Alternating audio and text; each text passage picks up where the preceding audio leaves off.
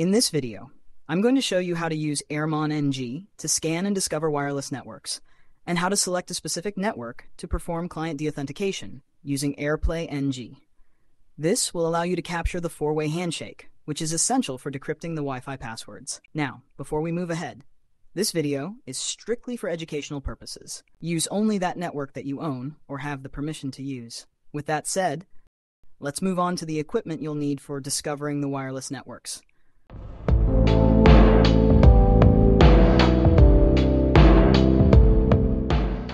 So for this video, I am using the AR9271 chipset adapter, which supports monitor mode and works out of the box with Kali Linux.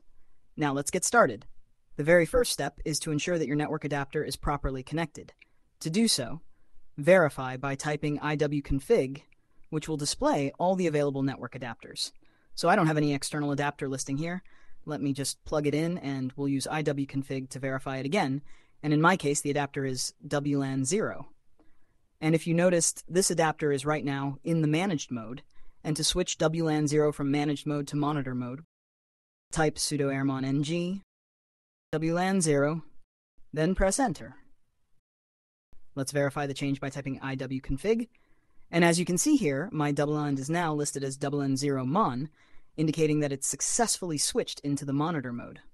After this, we need to run one more command to make sure that no other wireless service is running, as it can cause interference later. Type sudo airmon ng, followed by check kill. Then press enter. In my case, a service with the process ID was running. Okay, so now that's done. We need to discover the access points. To do that, we use the command sudo aerodumpng your wireless interface name. In my case, it's blin0mon. As I will press enter, all the wireless access points around me will be listed here, along with their names, MAC addresses, and the channel numbers they are operating on. But here I am interested in the Lapsus Wi-Fi network. So for that, I will use this command.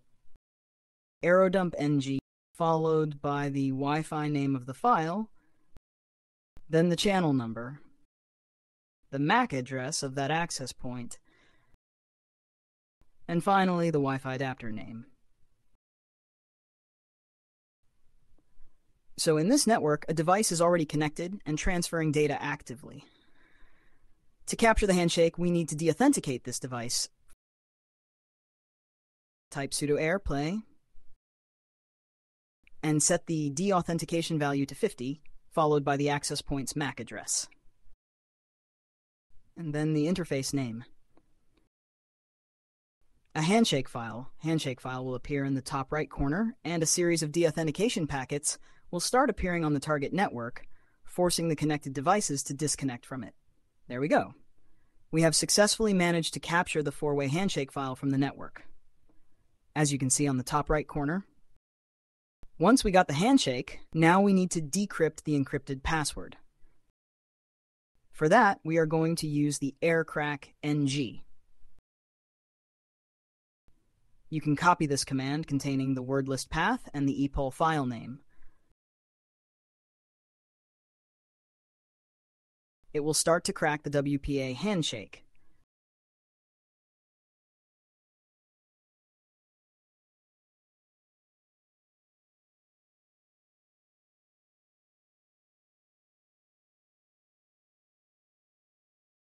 And as you can see, we got the password. Hope you enjoyed this video. If you did, please like it. Consider subscribing to my YouTube channel. I want to wish you all the very best. Thanks for watching. I see you around.